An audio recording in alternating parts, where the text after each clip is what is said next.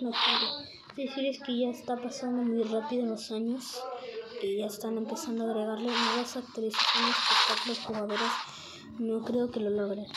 Y además acá están cambiando los zoomings, incluso agregando nuevas cosas. Así que gente, si recuerdan los antiguos momentos que faltaba Battle no olviden dejar un like y suscribirse si quieren que les diga el primer booming que salió. Y si no lo sabe. Bueno gente, que tengan un bonito